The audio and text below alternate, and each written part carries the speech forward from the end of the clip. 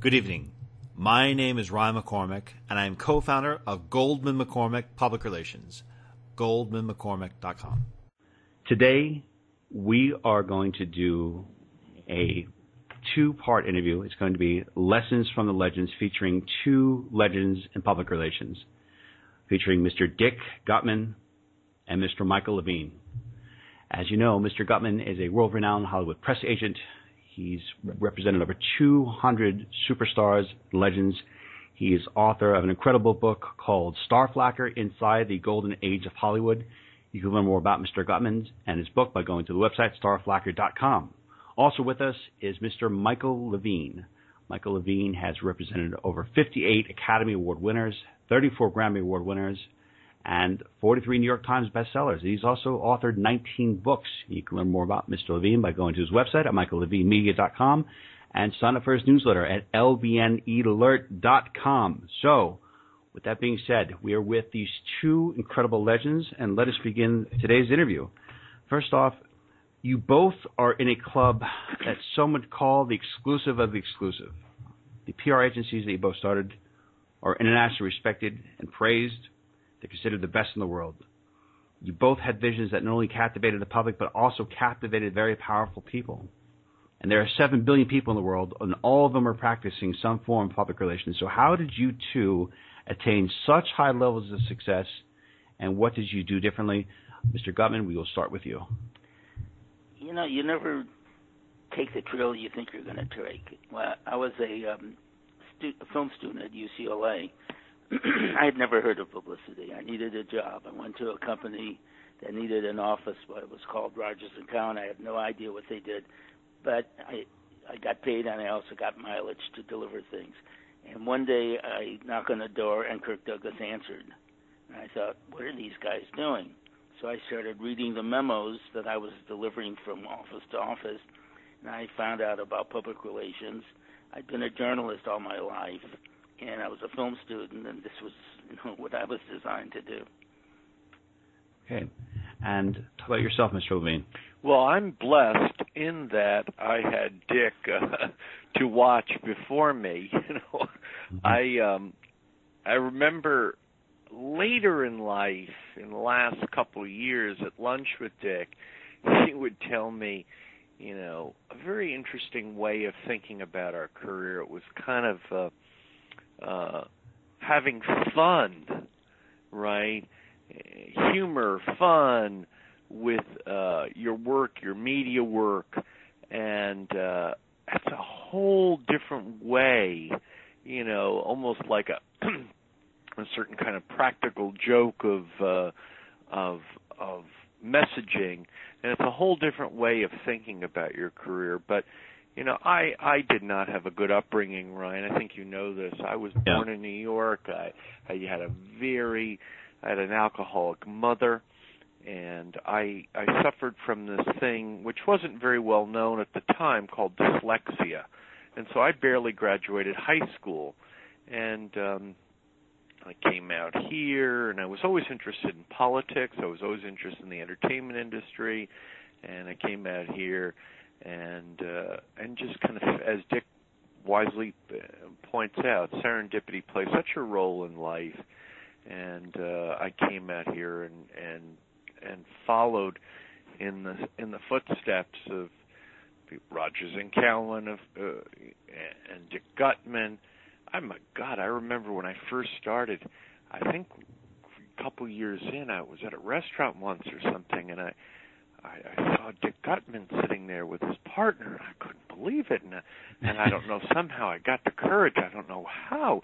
I just got the courage to walk by them and say hello, and and and I said hi, and they were both so nice to me and encouraging to me. And I thought, my goodness gracious if men of their stature in this industry could be nice to me, maybe, just maybe, perhaps, I could work in it too. And and so, I know it sounds kind of funny now, but at the moment, that was a very, very big day in my life. It was a signal in certain ways that perhaps I could also work in the same business. It's interesting. And Mr. Guttman, mm-hmm. observing Michael over the years. What have you learned about him, and what impact has he had on your perception Well, he's- about public he's relations? a great initiator. I mean, he's he started LBN, which is basically a news. Yeah, he's in competition with Huffington Post and the Associated Press, and very readable uh, condensation of the news, uh, which I'm always happy to take a look at. But uh, in the, he covered bases. Uh, I, I know in uh, in 19 at the very end of '93, Barbra Streisand was going to return to performance uh, for pay in theaters. Uh, for 27 years, she had not performed for pay in, uh, in before a live audience, except uh, she would do certain uh, fundraising events. But this was different. She was coming back into it in very glorious circumstances at the MGM Grand in Las Vegas, and there was so much to do. And uh, we asked Michael aboard to to assist us on that. And it was really a, a, a real assistance. You know, the, the, he came up with really good ideas, covered bases. Did we think of this? No. Let's think about it. And uh, I thought it was. I was very impressed with what he did.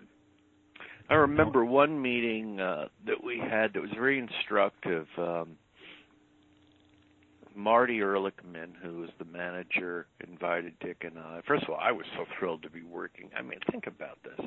My goodness gracious. Here's a guy who barely graduated high school, no college education. And I'm working somehow, some way with Dick Guttman and Barbra Streisand and Marty Erlichman. So, and I'm from New York. Can you imagine? Can you imagine this? So now we are invited Dick and I are invited to a rehearsal. And we go to this rehearsal, and at the end of the rehearsal, Marty calls Dick and I into a meeting. And uh, Marty says, Gentlemen, what do you think? And somehow, I forget how the conversation goes, but one of us may have said, Well, I thought it was good. And Marty said the most interesting thing. He was a kind of brilliant, curmudgeon guy, and he said, you know, fellas, good closes on Tuesday. And of course, he was talking about Broadway and how good isn't good enough. And I He's talking about that. life, really. That's that's uh, that's Talking about life. That's right. Dick, talk about that for a minute. He's talking about life. Good closes on Tuesday. Can you talk about that, Dick? Well, you have to you have to represent. First place, you're not the talent. The the talent is the talent. Uh, Anyone I represented who, uh, you know, was a superstar of the world was not something I made happen. Th- th- Their talent made it happen. Uh, to tell you the truth, I I wouldn't know how to get anyone from A to B, but I know how to get people from D to Z. And uh, and because it, Good line. you you have to start with the reality that you know you, you can't I never I can't I can't, can't even understand that I was in the company of a of a Gene Hackman or Paul Newman or uh, Cary Grant. It's, it astonishes me. And so what you begin with is you begin with a bright shining star, and then all you have to do is point it in the right direction. And uh, Hey. I think that's pretty much it. But the rules, the rules of publicity are really the rules of life. Uh, I always thought uh, I, I'm a rule collector. I, I, or not a collector, but recognizer. And uh, and I always ask everybody I know has ta- taught me something. So Warren Cowan was the for me the operative um, life uh, inspiration of Rogers and Cowan, which was a publicity firm which handled more stars than MGM had. It was I don't That's think true. there was ever that congregation of stars Never. before, and then there's it's still a, a vastly uh, a- a vast and and really excellent company. But I I would also always ask the question. I said, what, "What's the first rule of publicity?" I'd ask, and there was a lot of different answers.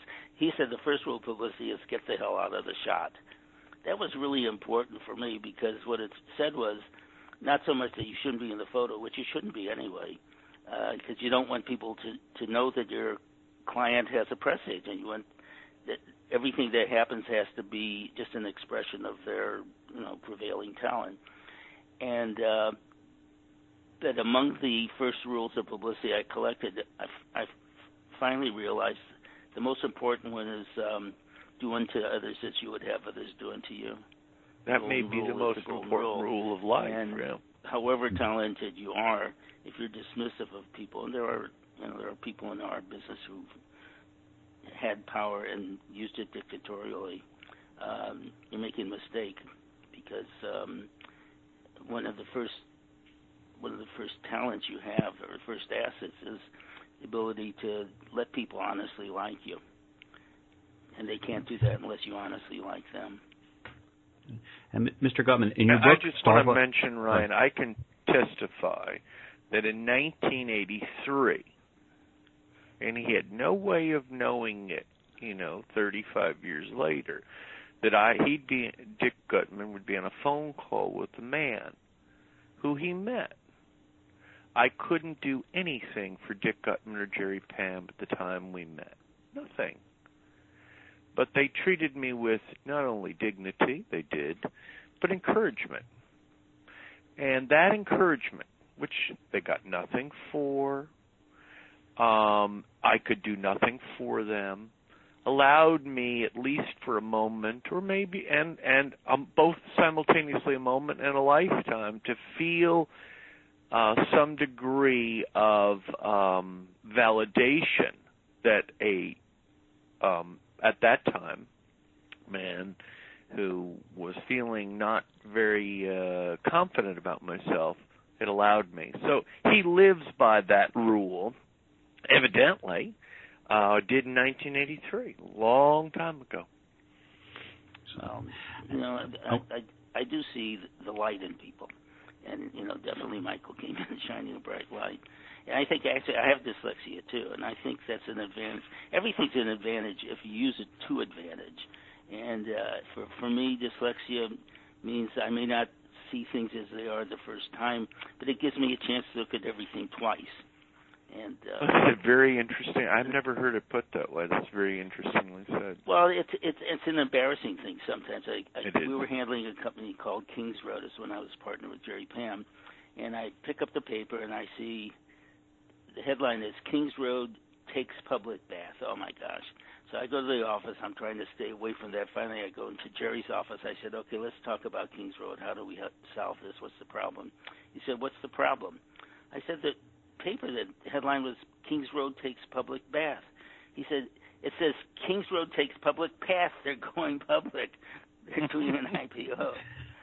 I I I, uh, I never told Dick this story, and I didn't know Dick had dyslexia. But about a year and a half ago, I was at a dinner party, uh, somewhat uh, fancy uh, dinner party, uh, and um, large group, a good group of people there, and and David Geffen was at the dinner party, and I was talking to David, and David has dyslexia, and I have dyslexia. And David said to me, You know, Michael, 40 years ago we had a different word for dyslexia. And I said, Really, David, what was that? And he said, Dumb.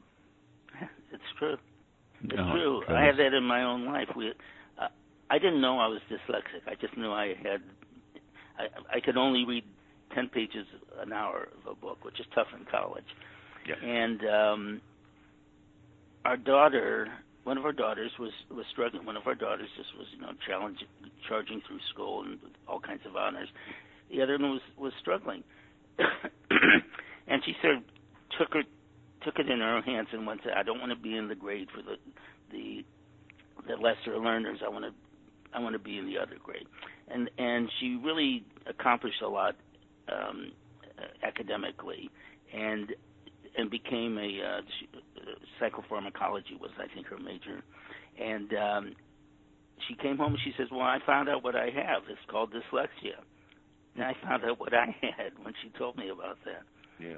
Oh. And she's done. I actually wanted to ask you both a question about dyslexia. hmm It's just that you're talking about what impact it had on your lives, and I was wondering if you feel that by not having dyslexia, how your lives would have been, and do you feel that you would have not been able to utilize other aspects of your intellect, which would eventually lead to your success? I was wondering if dyslexia actually was a blessing because it forced you to utilize other areas of your, you know, mind, passion, spirit, which got you to a certain place. Michael, take that first. I I really believe very strongly now in the advantage of disadvantage.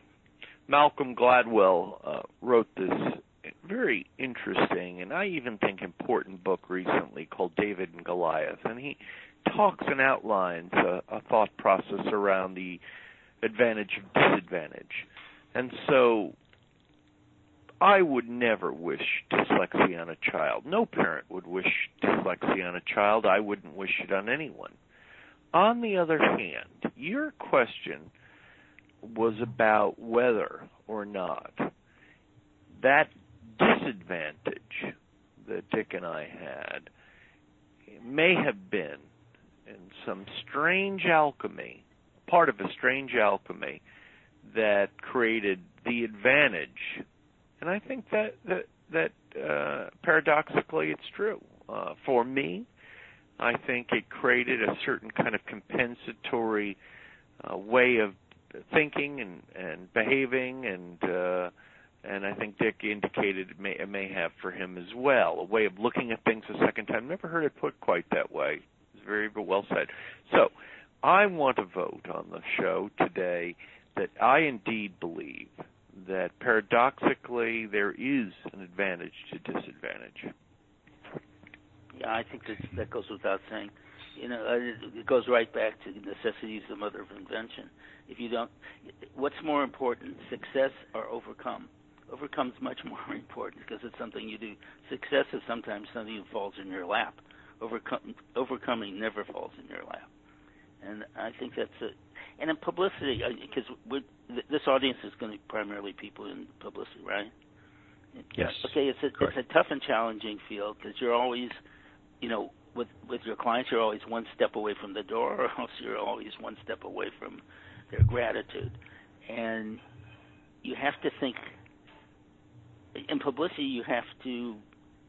You can't, you can't just go by the book.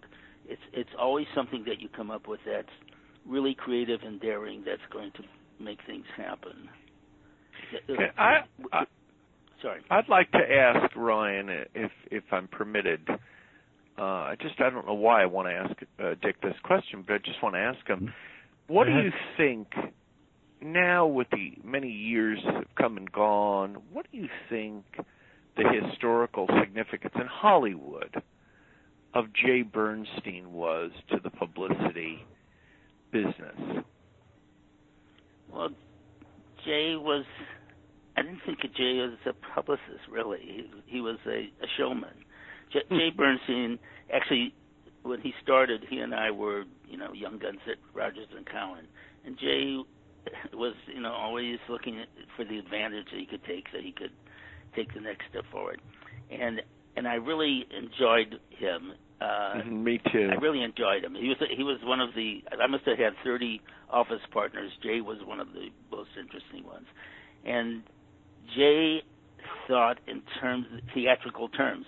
So when he was dating Joanie Sommers, you won't remember this, Ryan, but Joanie Sommers was um, one of the really hot singers of I suppose this was the 60s, and um, he was uh, madly in love with her and she she wasn't with him. I think he knew that, and so he comes in the morning and he opens this little box and he, he shows me this extraordinary diamond ring, and I said, "What what is that?" He says, "I'm offering this to Joanie tonight," and uh, I said, "Oh my God! A, can you afford it?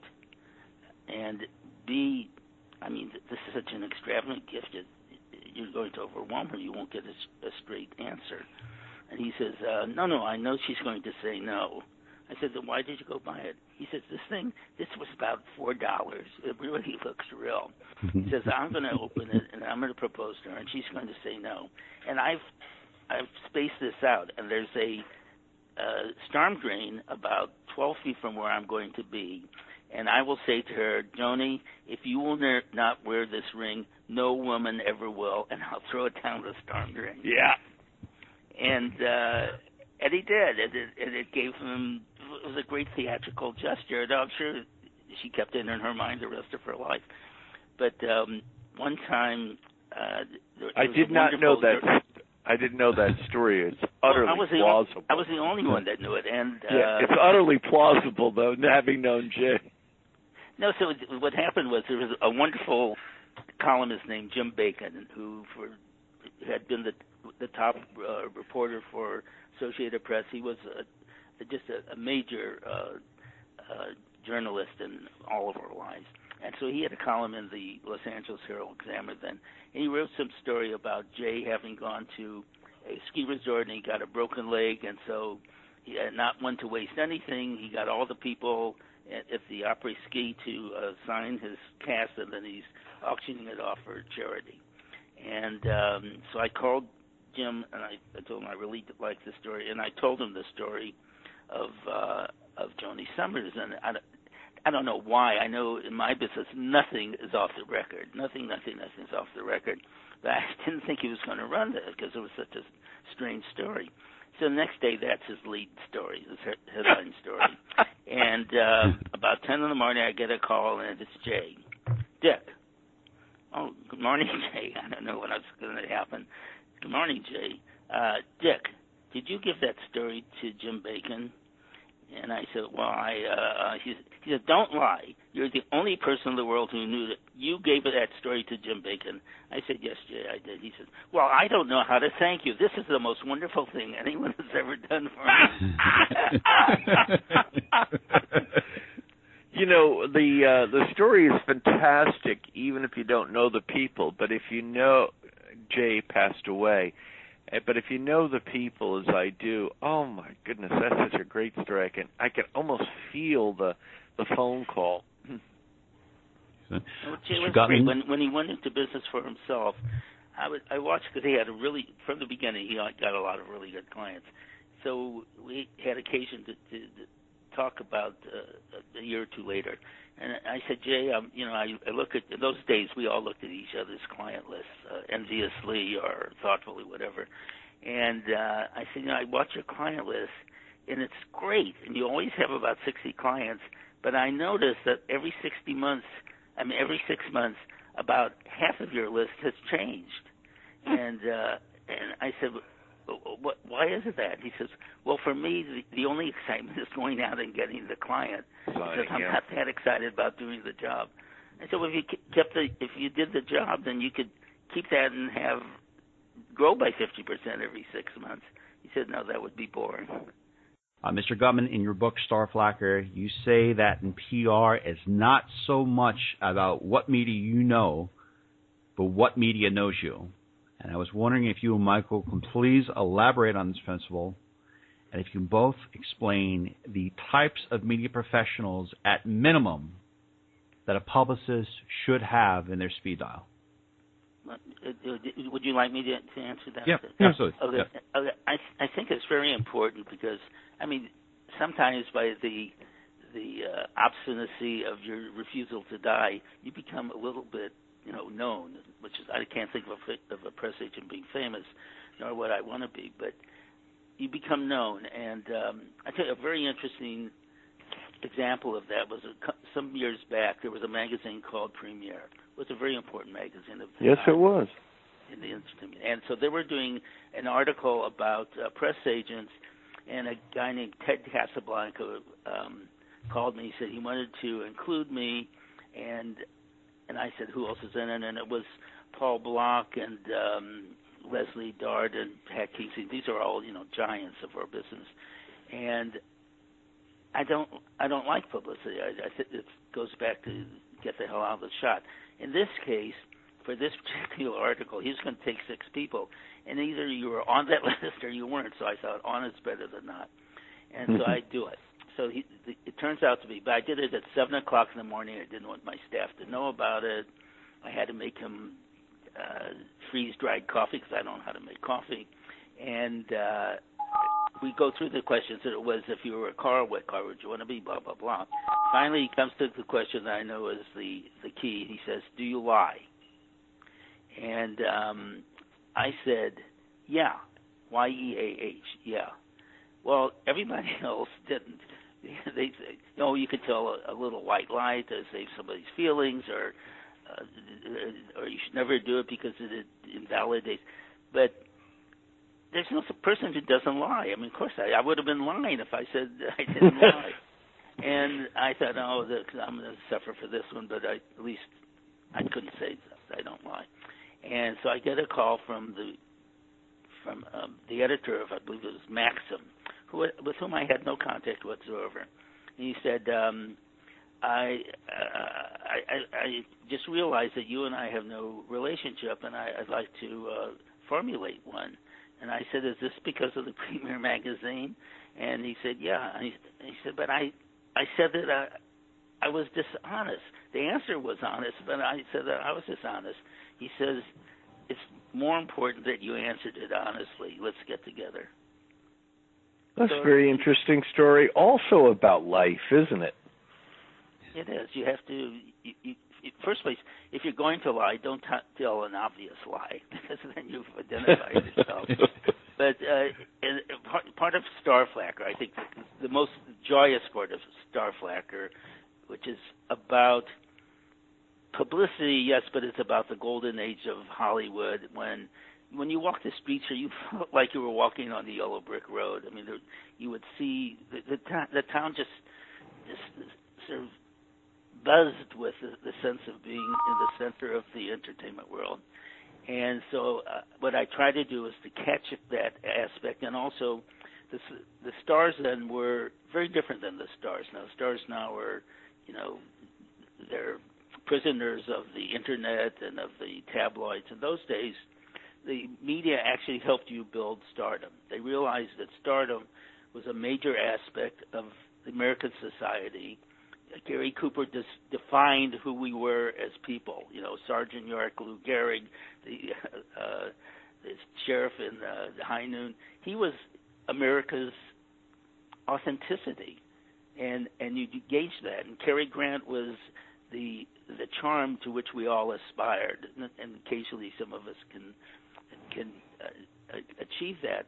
But the, these people's stardom was was really important. At the beginning of World War II, there was a movie, Mrs. Miniver, in which Greer Garson, God bless her, showed the spirit of the British people. And America wasn't that committed at that moment, but once we came to understand through Greer Garson what the Brits were going through, we were 100% into that war.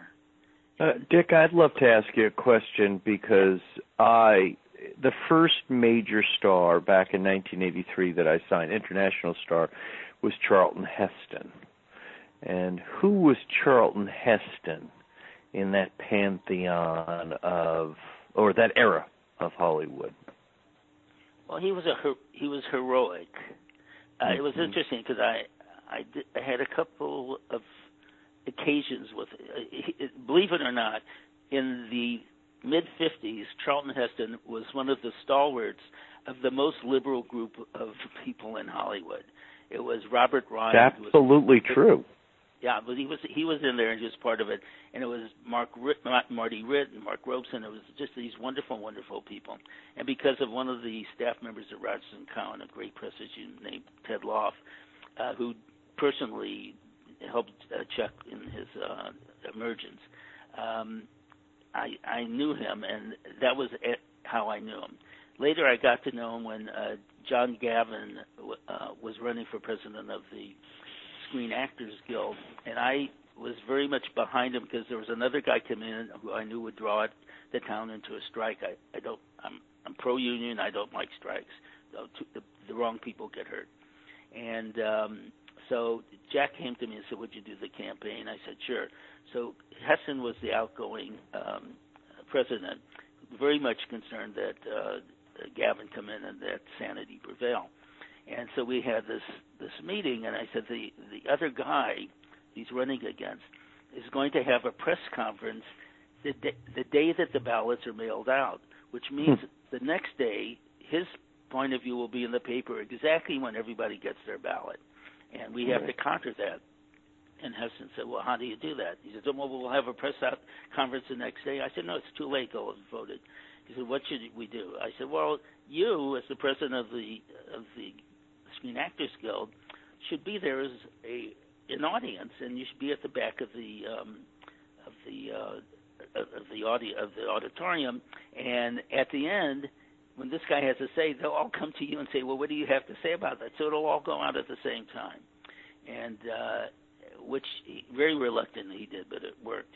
And so years later, he was the head of the NRA, and Barbra Streisand had produced a film, uh, Long Island Incident, which was about a mass shooting on the um, on the train in New York, and it was very much uh, it, uh, gun. It was about registration of gun and controlling who to whose hands they fall. And we knew the NRA was really upset, and we also knew this was a Sunday night that Monday morning, eight o'clock, Chuck Heston was going to have a press conference at the Beverly Wilshire.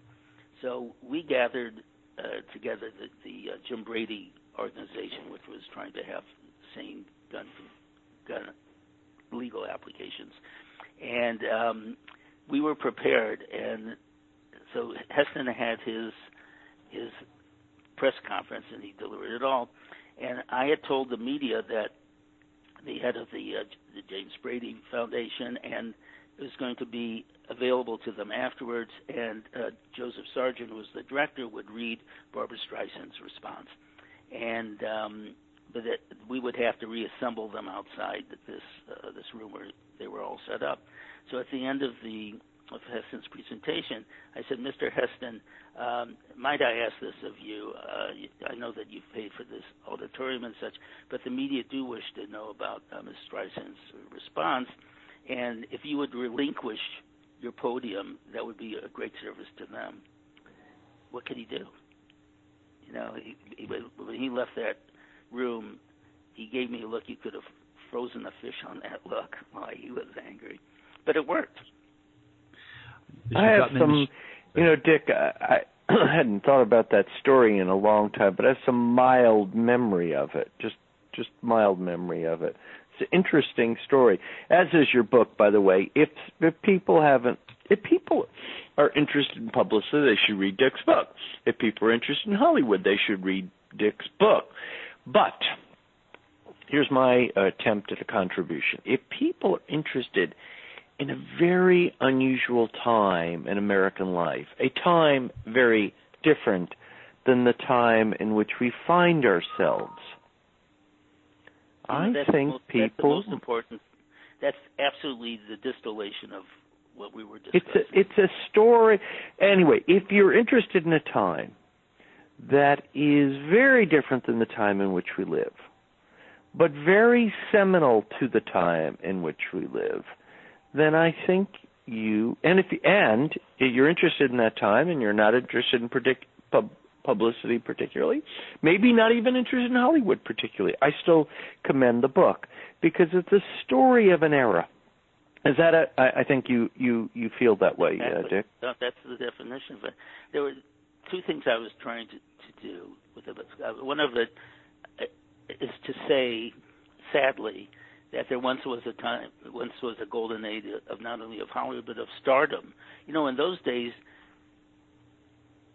they made great movies. I mean, not that we there's I worked on uh, Spotlight last year. It was a great movie. There were there's always you know four or five really great movies each year. The Oscar lists are you know certainly always merited. But in those days, in 1939, there were 10 films nominated. Every one of them became a classic. Gone with the Wind, Wizard of Oz, uh, the Ninotchka, Stagecoach, uh, Mr. Smith Goes to Washington. I mean, it was just dazzling, dazzling, and every one of those films you could see twice a year. Behind them were 30 other films that could have that are also classics.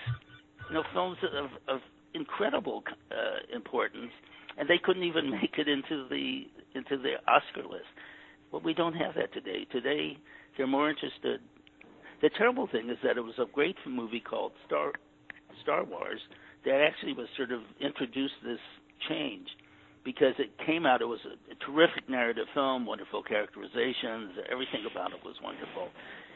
But it showed them that if you put all these uh, elect, uh, these um, special effects in, it, you're going to give people a roller coaster ride they've never had before. You can make not four million dollars, you can make four hundred million dollars or a billion dollars, whatever it is, and you can make that movie eight times again and make the same amount of money. And so they became focused on that. So you see really good actors like Robert Downey and Matt Damon getting paid twenty million, fifty million dollars to do those movies. How are they going to say no? Whereas they could be doing you know, Mr. Smith goes to Washington or or Stagecoach. They could they could be making the movies that used to be made that really carried the message of that time.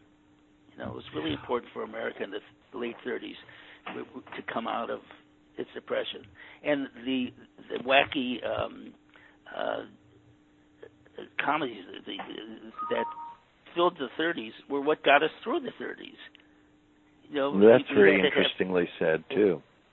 We we had to realize we had to remember laughter, and uh, the screwball comedies. God bless them. There were I could I can watch I Married a Witch or uh, The Lady Eve, you know, every night if I had to.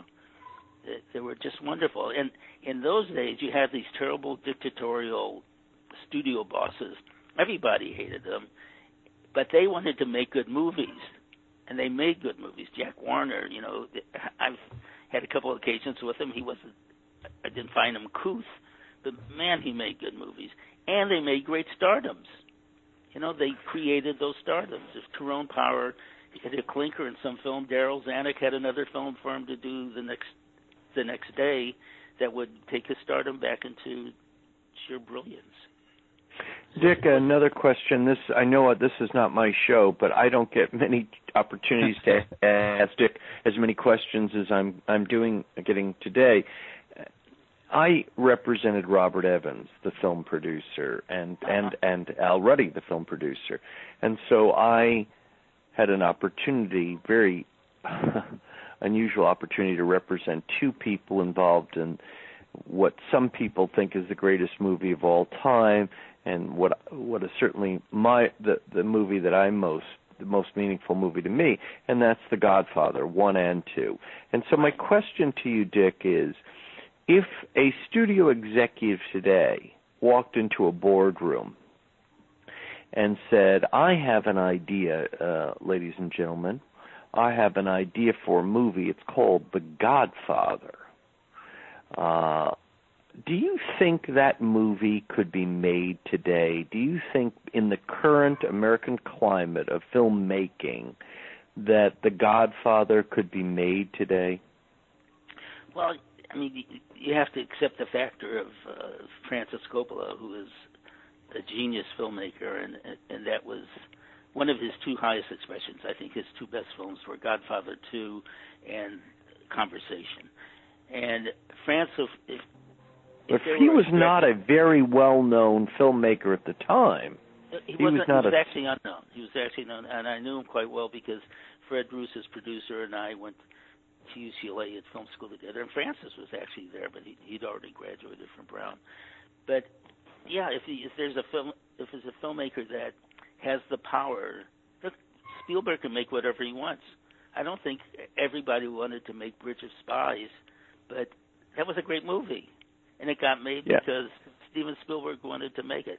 They could the get point made, I'm but- trying to get at, Dick, is I fear that if a studio executive walked into a corporate environment today and suggested The Godfather, that um, many uh, that the film might not be made. Uh, because right. no, there you're are absolutely right. There are no that- action figures. Yeah, There are no McDonald's we're uh, cross promote. No, What- you, what you, you're absolutely right. They, they're looking for the special effects, but you know they did make. Uh, a, a, they tried to make that film last year. It was uh, Black Black Mass, I think it was called, the Johnny Depp film, and it was, and it didn't work because it was so morbid.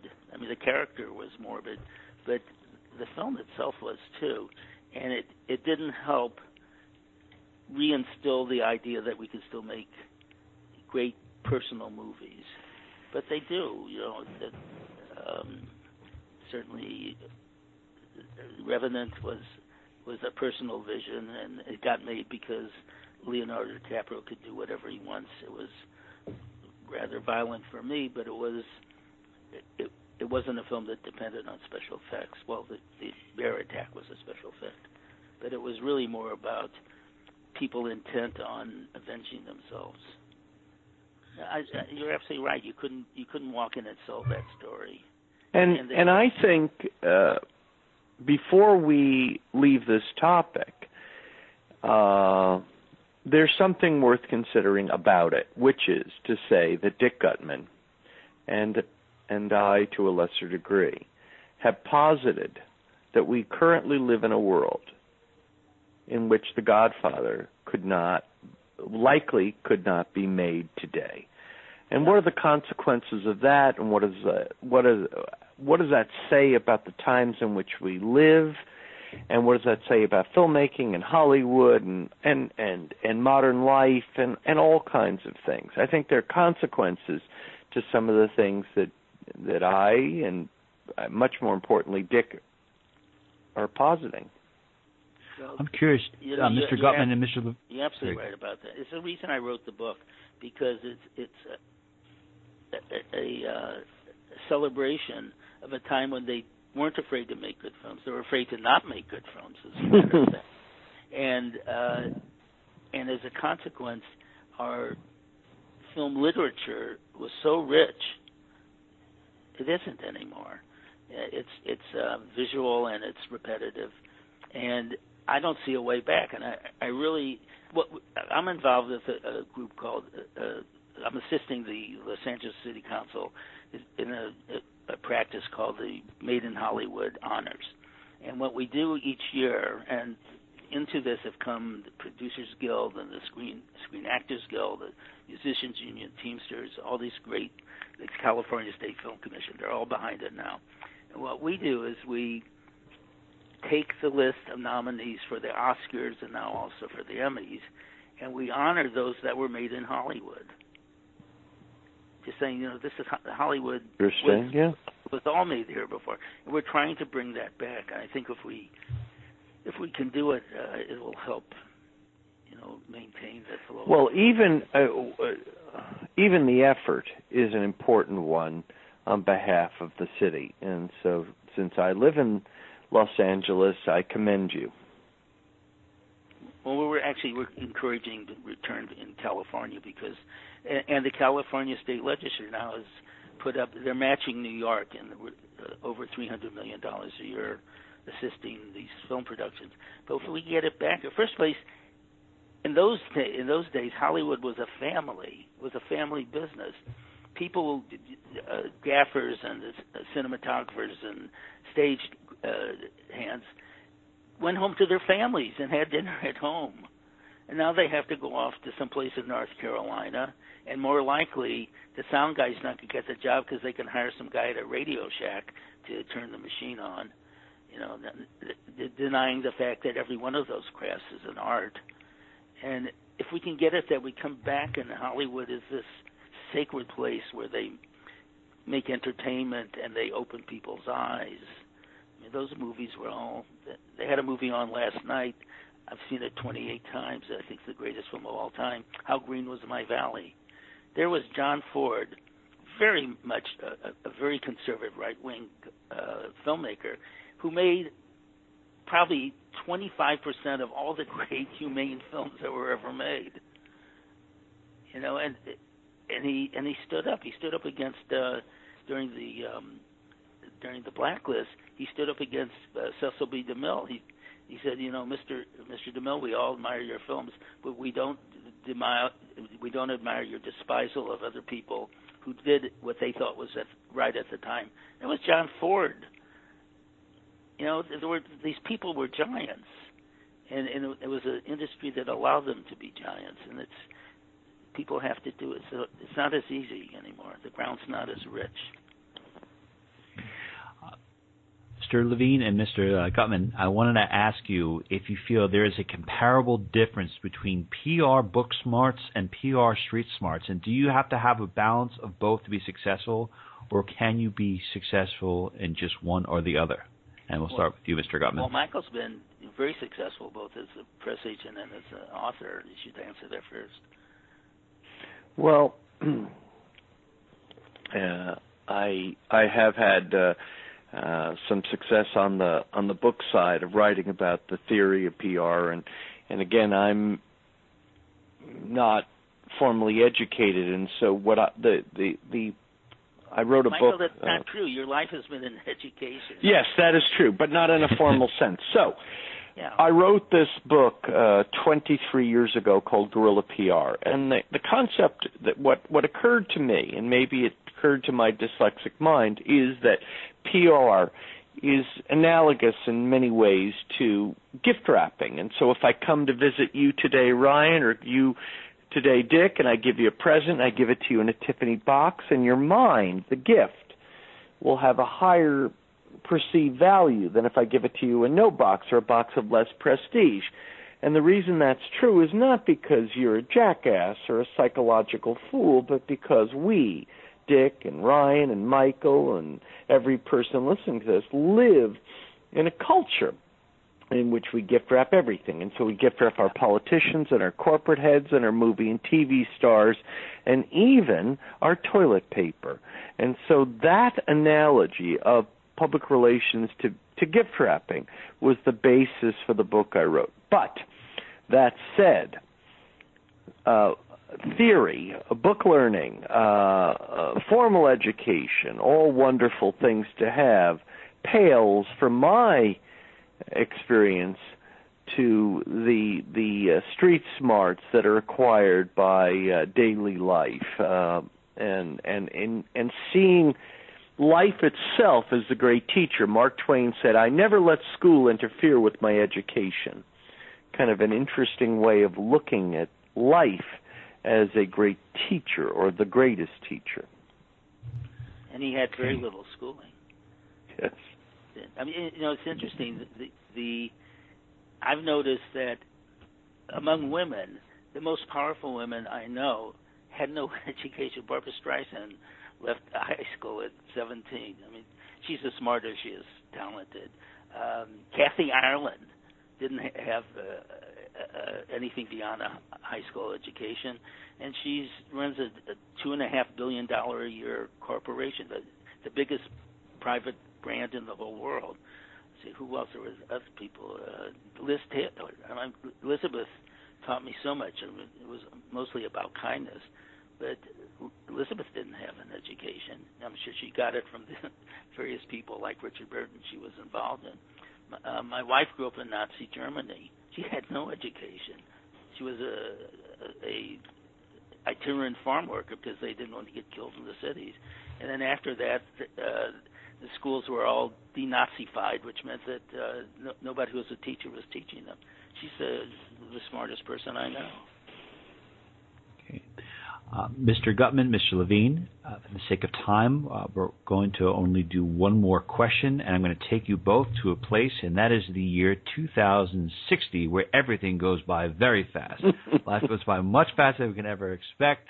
So, Mr. Guttman, Mr. Levine, if you were both responsible for giving a two-minute eulogy at each other's funeral, how would you present it? Mr. Guttman, we will begin with you. I think one of the most important things about Michael is that he was what we don't have very much anymore, a self-made man. he, he, he educated himself uh, in spite of the you know the consequences of dyslexia. He said, "I've always found found him one of the most innovative of press agents, and I, I truly think." I truly think that innovation is really the soul of, of really good publicity. Unfortunately, it, today it's becoming uh, much more electronic by the books that you go for the you want something to trend and everything. I leave that to my staff; they're really good at that. I love the old days when you and a, a really intelligent journalist sat down and figure out what would make a good story. That was so much fun. But Michael's invented.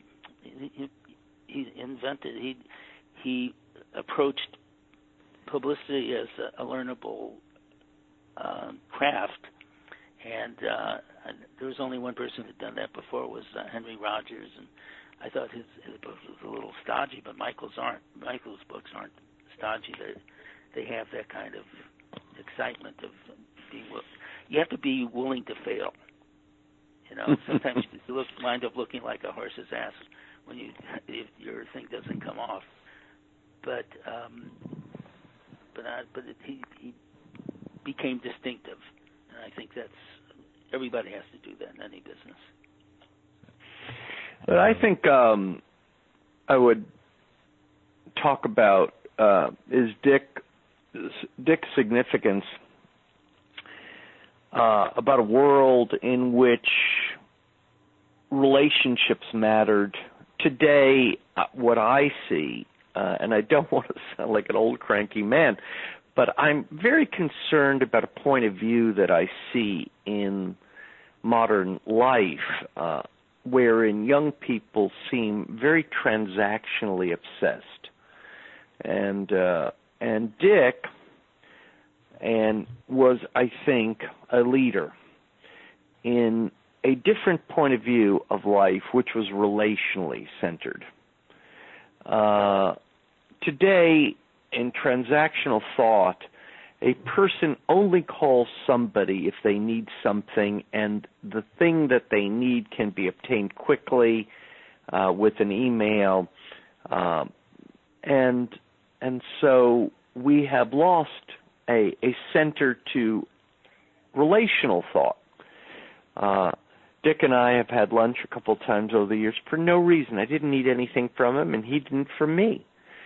But I learned a, a good deal uh, about PR and about life and about character and about a time in which relationships were more centered. Now, I think this current thought process of transactional thought is a bad path and one that I think all our modern uh, friends frenetically uh, texting each other are going to live to regret.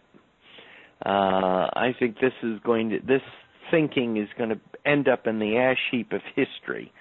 Um, and so, at at Dick's significance is that of uh, one that was relationship centered. Um, and and Dick, if you wouldn't mind terribly, could you talk, give me your comments about that? When you see the modern world function today, and everyone's only interested in what's in it for them immediately, as opposed to how things were more relationally centered in the past. Could you talk about that and your concerns around it? I think I think it's a reason I I wrote the book because mm-hmm. uh, I saw it slipping away. That was the art the art of publicity still exists. Mean, you can come up with creative ideas which will drive the the um, online traffic that apparently is the most cherished thing for publicity now. I think the the the fabric of, of fame has been very very devalued. I mean, you see people now who are famous for for being famous, and uh, and and that, that's primarily driven by notoriety. I I think a lot of the of the new stars are driving that because they insist on living their lives. They they insist on insisting their lives upon other people. There's no reason in the world that some kid in Chicago should be reading about some rock star what, what he said nasty about someone else they should be involved in their own experience of life. It makes you go to to a restaurant, there's a table with four people, each one's on the phone with somebody that's not there. What about they're in a relationship?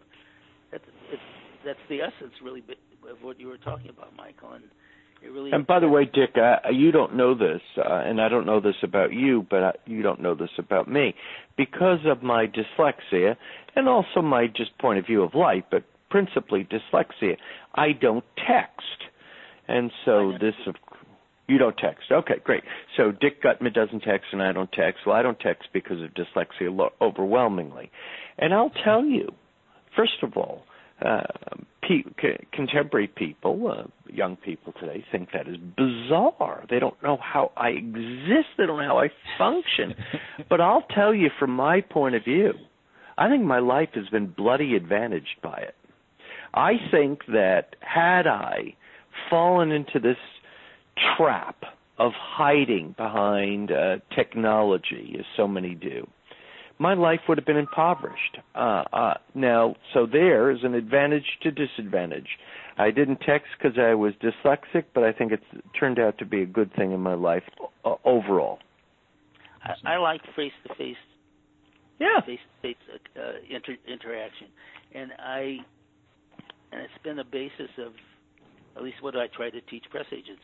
You can learn all you need to know about the technology, but if you don't if you don't try to learn about the people you're sharing your life with, you're going to really cut yourself off at the pass.